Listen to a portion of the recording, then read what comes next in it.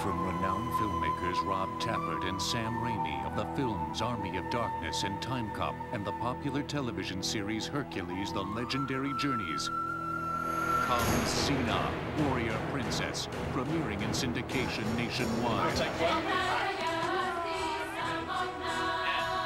Shot in picturesque New Zealand, set in the golden age before Greece or Rome on a distant frontier far from Hercules, Xena combines mythology with martial arts, high action, special effects, and humor with rising star Lucy Lawless.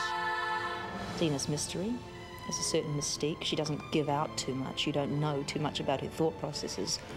First captivating audiences in her portrayal of Xena in three top-rated episodes of Hercules, Lucy Lawless returns and reprises the unique story arc, playing Xena, warrior princess. This is a character who starts at a certain point in episode one, and they continue to evolve. She struggles with good versus evil within herself all the time.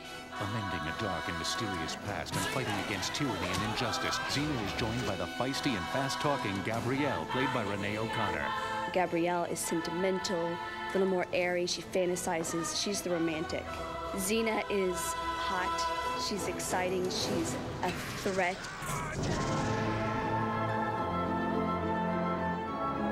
Xena is the kind of show that has action, action, action. There's excellent fighting. Wild action.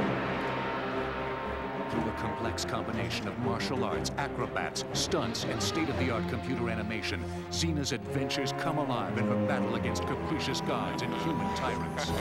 Something that we wanted to show is that even though your past keeps coming back to try and haunt you, you have to try and do what you think is right.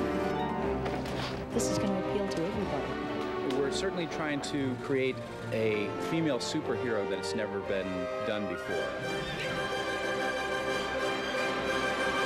Xena, warrior princess, delivers story, stunts, and special effects to this unique hour of drama, action, and excitement. A totally unique show. There's nothing like it on television.